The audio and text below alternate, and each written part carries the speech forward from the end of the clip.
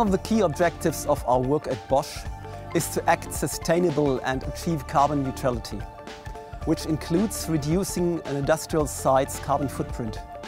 This is the reason for us to constantly review different sustainable energy supplies for our Bosch plant in Wernau. Fuel cell systems could form part of a really sustainable solution, especially if driven by green hydrogen. In Wernau, we put the standalone plug-and-play solution of our solid oxide fuel cell system to the test.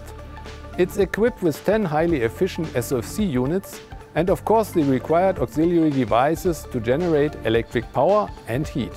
Here it is 100 kilowatt in total.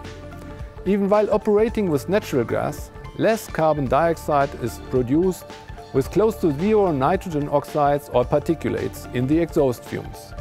In the future, when our fuel-flexible systems run on green hydrogen only, carbon dioxide emissions will fall to practically zero. Planning and installing such an energy supply system is not just very complex, but also usually very time-consuming and expensive, especially when supporting interfaces have to be prepared or certificates need to be obtained.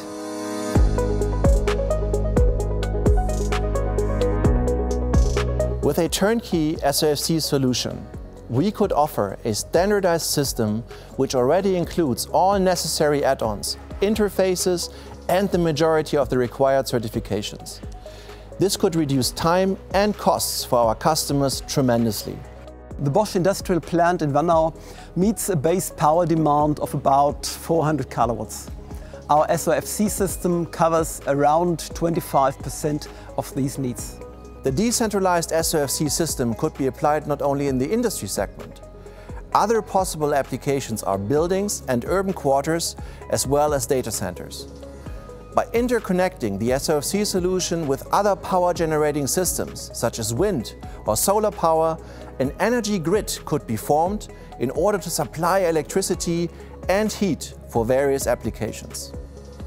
Over decades, we at Bosch gained significant experience in standardization of technologically very complex processes and the development of products to series maturity. Our pilot plant in Wernau gives us the opportunity to test a potential SOFC plug-and-play system under real conditions.